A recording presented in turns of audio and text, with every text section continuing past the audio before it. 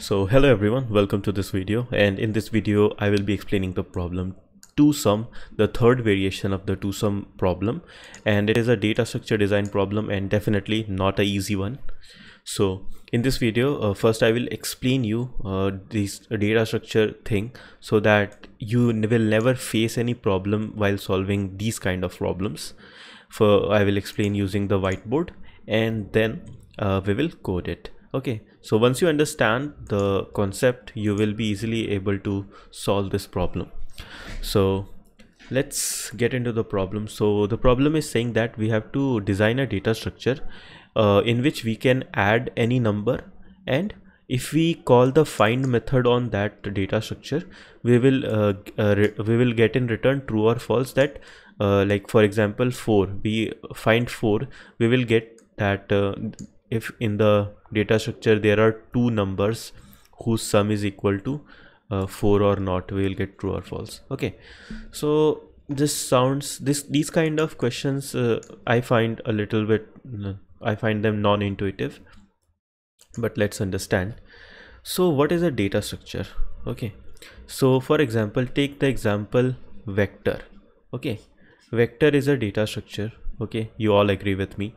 So a vector has several methods on it okay? For example v dot push push back. So what this uh, if you uh, make a vector uh, ob uh, vector object uh, v uh, if we call v dot pushback method on let's say 4 it will add 4 in the vector okay? If we call v dot size okay?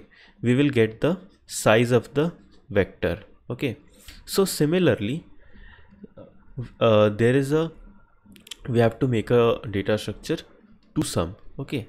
So what this data structure will be like? We will make a uh, here we have a object of the type two sum. So object. So when we add in uh, something on object object dot add let's say 4 it will have that uh, 4 number okay and let's say object dot add 1 so it will also have 1 and when we uh, call object dot find like this find 5 let's say. So it will uh, check internally that whether a uh, two numbers exist whose sum is 5 if we get an answer as yes it will return true. Okay. So we have to design this data structure. So how can we design it okay. So first thing I see is that I have to add numbers. So what I will do is that in this uh, data structure on the global level I will uh, I will write a vector vector say int nums okay. And I will uh, so this is uh, this will be my array uh, vector. And whenever an uh, number is added what I will do is that nums dot push underscore back uh, number. Okay. So in this vector I will store all the numbers that are being added by calling the add method on this two sum object. Okay. Uh, now it has also been asked that uh, I should be able to tell whether a object exists or not like uh, two objects whose sum is equal to some number exist or not. So what i will do is that i will make another uh, a map here. So map int int mp okay. So whenever uh, a number is added i will also add that number mp dot insert. It is just like the two sum problem. I will add that number number and also that numbers index. So what will be the numbers index? Nums dot size minus 1 because that number is being added at the end of the uh, what uh, nums array. Okay. And whenever the find method is called we have to find it. Okay. So how can we find it? We will uh, write a for loop for int i is equal to 0 i less than nums dot size uh, i plus plus. Okay. So uh, if mp dot count uh, let's say this is target. So target minus nums i is equal to true and and mp and this uh, what i'm doing is that uh, for example if we take this example 1354 i'm basically uh, in the vector i am adding the numbers 135 okay? And also in a map i am storing these numbers.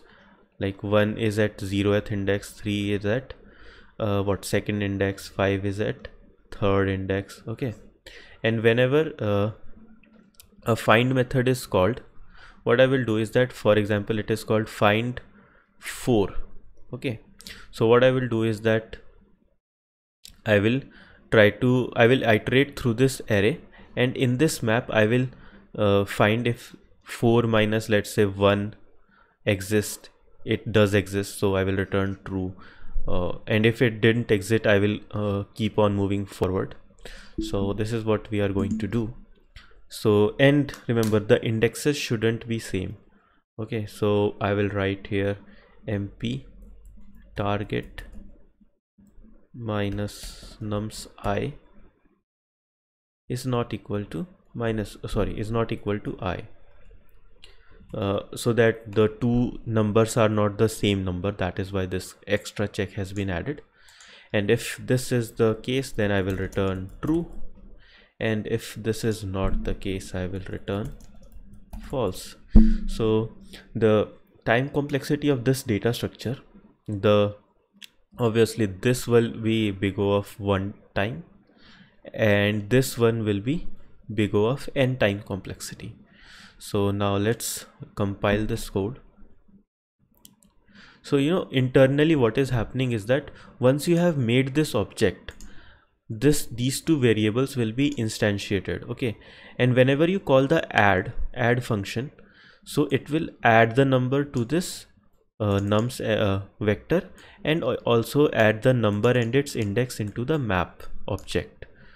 And uh, and whenever we you call the find method internally this for loop will run and it will return true or false okay this number is very large. Okay sorry this is my mistake.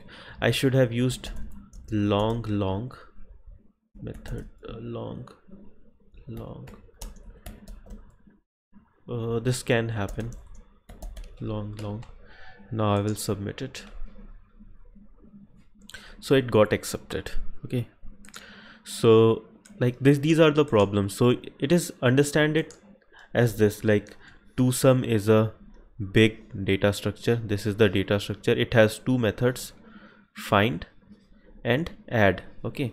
And you don't know anything. The user will user has to use this data structure. Whenever he uh, uh, calls the add method you have to store that number. And whenever he calls the find method you have to return uh, true or false whether a pair exists or not. So this is the problem. I hope it is clear to you. And if it is clear to you do like the video and subscribe the channel. Okay bye